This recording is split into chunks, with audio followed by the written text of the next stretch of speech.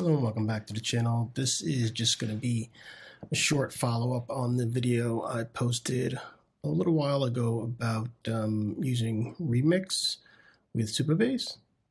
Uh, my first correction that I want to make from the video was that it, the guys who did it are not from Facebook. They're the guys that uh, did React Router, so I definitely want to make sure make that correction. Um, second thing I want to talk about is this video, I um, what I've done is I've integrated uh, Tailwind into my Remix application. I've added some code to show you how to basically post records and save them to Supabase using Remix. And I started down the path of showing you how to upload a file uh, to Supabase using Remix. However, there appears to be a bug with uploading large files. Basically, it just times out and it doesn't work, but small files do work. Um, I will include with the video a link to discussion in Discord. There is a workaround how someone's figured out how to basically patch the code to get it to work. Also in Discord, there's a discussion about them uh, doing re more research on the bug. I'm not really going to post a video on how to do it until um, the uh, code has been patched appropriately. Uh, what else is there in this video? And I think that's pretty much it. I just wanted to do a follow-up um, as I said, and I'll do more once the uh, patch is added to the code. And this is just going to be another walk through the code again. All right, so let's get to the code. Let's move this out of the way. Put me down here in the corner. And uh, the first thing that we will see is um, that, where is it? Let's, well, let's just walk to the app again. So I have my basic um, login, and then I have uh, the ability to create an account. So you can uh, create an account with Supabase with this code. And then uh, also, I apologize for the dark mode. My laptop immediately goes into dark mode after a certain amount of time. Um, then you can log in with your existing account. And right now, I'm just querying a group of records that I have in a Supabase account that I've set up. Here's the UI for the upload file, but as I said, I'm not going to touch on it until um, it gets resolved. Um, but I'll basically show what the code should be. And then I've also added the ability to add new records. So I'm basically showing how you can post a form. I'll just put anything in here. I'll just put my name and uh, description and the state is DC. And I can save a new record and then where did it go? Yeah, here it is down here at the bottom. So it's, it's basically saved a new record. And so let's look at some of the code that supported all this. So if I go back to my application, and I look at my routes and if I go to my new record route let's get this out of the way you know once again everything it's about uh, basically just posting your form and so one of the reasons I always do my style last is I think it just makes everything else very noisy. It just crowds up everything. So basically what I've done here is I have my form wrapping so I got my form up at the top there. My form ends here. And then I just have my inputs.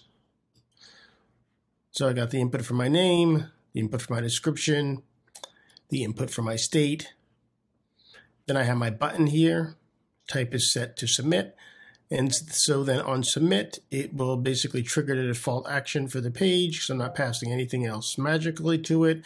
And so we come up here to my action. Um, I get my form data, and then my form data, I get my fields, I get my name, I get my description, I get my state. Um, what I'm doing here is I'm ensuring, I probably should have done this on the page load, probably makes more sense, but uh, what this is, maybe I'll, I'll, move that for the next video.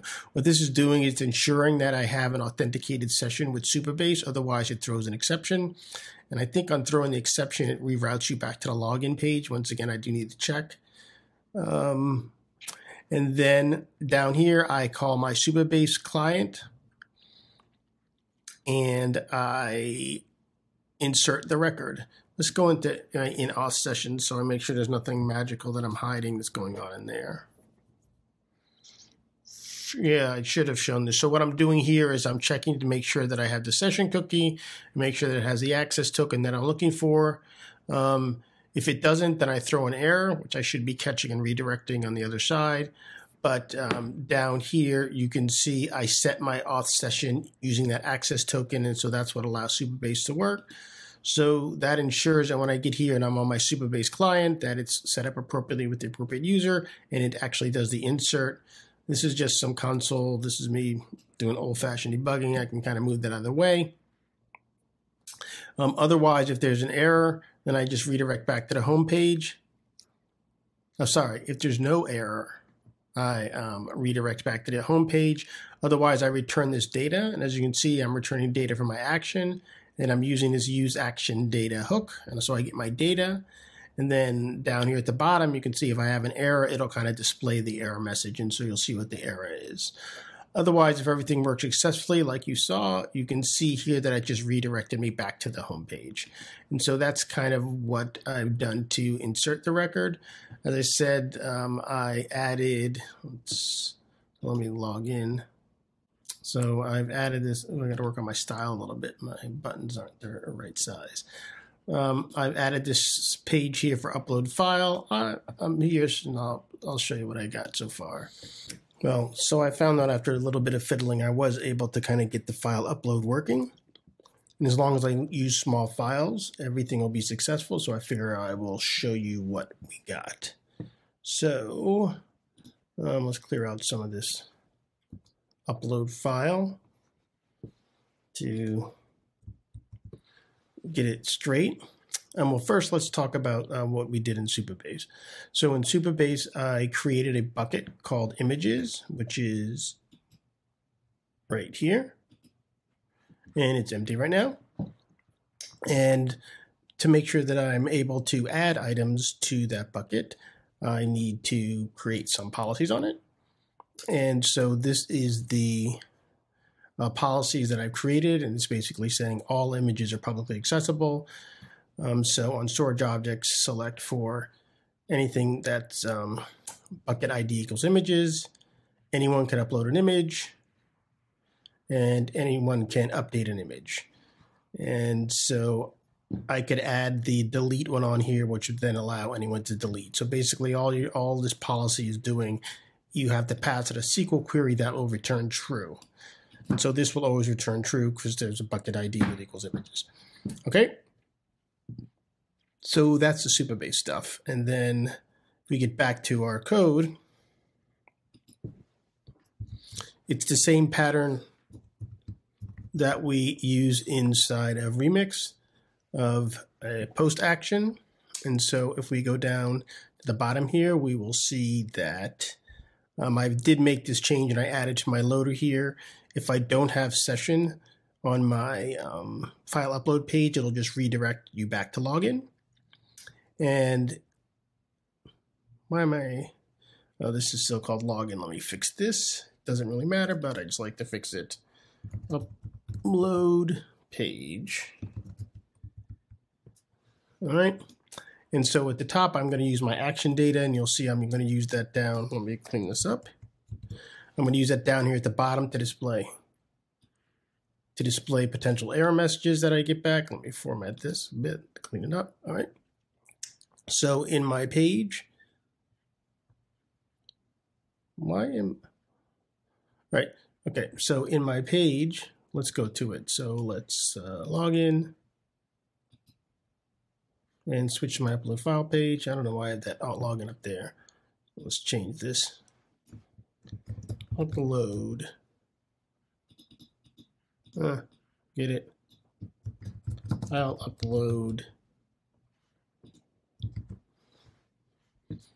I can't even spell. O A D. And then I have my form here. Could use a little bit of style, but we're not going to focus on that. And then I have my button. And I have my input type of file with my ID of my file. Then I have my upload. And then down here, what I'm doing is if my action returns an error, I'm rendering my error message. And if my action returns good data, I'm rendering the information on the file that got uploaded. Okay. And so then uh, other things important, make sure you use this file, this encoded type here. Otherwise, it'll throw an error. And then I have my submit button, and on submit, I'll call my action. So let's go to my action. So inside of my action here, this is my upload handler. But we'll get back to that later. So that what happens is it comes in and I call this parse multi eh, parse multi-part form data. I pass it in request and I pass it in my custom upload handler. And so inside my upload handler, if the name of the object that's getting passed in is not my file, then I move on. Otherwise, I just log out the name so I get it and I'm going to process it. And so what I'm doing here, I think I can pass a stream in, but I didn't test it. I just worked with the buffer because that's what I saw in other examples.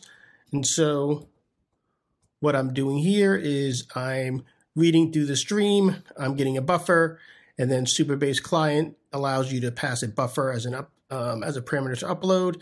If you hover over the upload here, you see you see it says it'll process a readable stream. Maybe I'll test the stream later and see if that works okay, but I know that this works. And so I'm saying Supabase client storage to my images bucket, take the file name that got passed in, take this buffer and upload it. Now here's how I'm handling the errors. If I got an error back, I need to throw that error. And so then what will happen is down here inside of the, uh, not the upload handler, but inside of the action, once the error is thrown, it will come all the way down to here. It'll catch the error and I pass the error back as the action data. And then if you remember down here on the bottom, for my action data, if I have an error, then I write out the error message. So let's go back up and do the happy path. But if I execute this successfully and I get a file uploaded and, and there's, so if an error, it does this. If there's no error, it's going to execute this code. This, up, this upload handler has to return a string.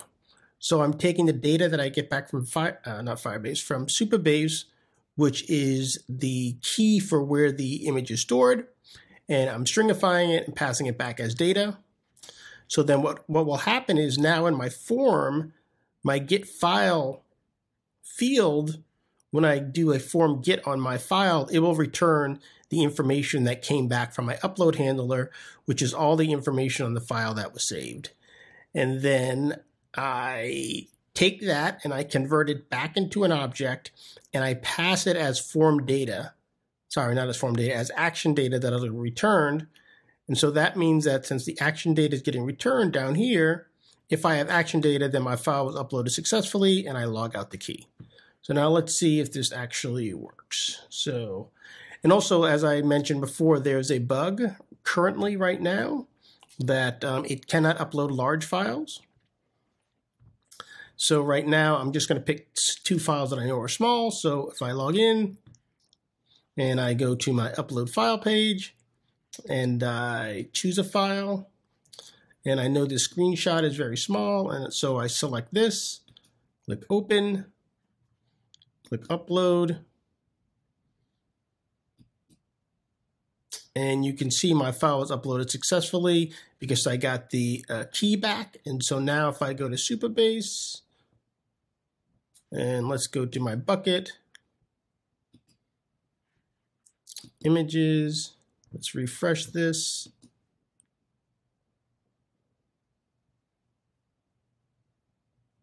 And here's a screenshot that I, why does it say text plain? Hmm. I probably could pass some additional data, but this is the, uh, this is the file that I just uploaded. You can see there's a timestamp and there's the information on the file.